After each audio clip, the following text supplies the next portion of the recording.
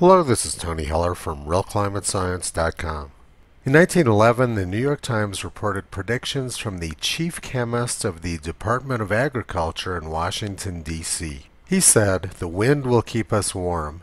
The great social and economic trio of the future is the windmill, the dynamo, and the storage battery. He said that wind power would save mankind from the global cooling which was encompassing the planet. Geologists have for many years admitted that the Earth is cooling, he says, though it's my personal belief that we still have a lease on life that may run into the billions of years. Coal and wood will disappear from the Earth.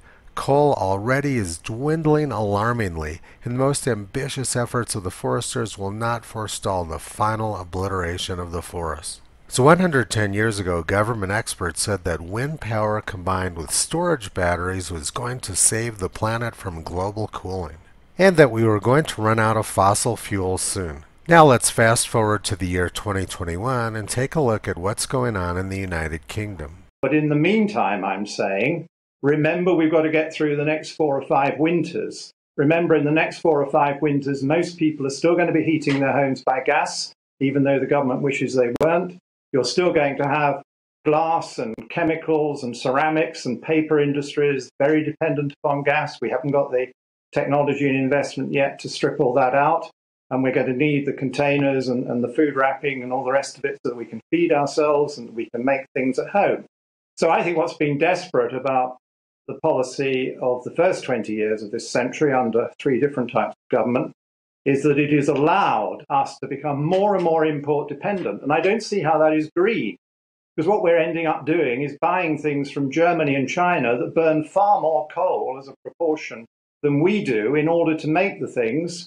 And we've said, well, we mustn't make them here because it isn't very green to make them. Doesn't make any sense. So 110 years after this New York Times forecast was made, Britain is still dependent on fossil fuels and they're still four or five years away from wind power. In any century now, they'll come up with their magical storage battery which will take care of the times when the wind isn't blowing. We're headed into a La Nina winter similar to the one which occurred in 2010 when wind farms produced practically no electricity during Britain's cold snap. And then in 2018, during a heat wave, Britain went for nine days without wind power, and forecasters saw wind output staying low for at least two more weeks. On Valentine's Day this year, lots of people froze to death in Texas when their wind turbines iced up.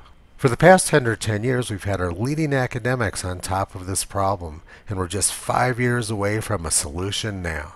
Toto thinks our governments are willing to freeze us to death in order to pretend they're doing something to stop an imaginary global warming problem. You can visit Toto, Kyrie, and Caesar on the web at realclimatescience.com.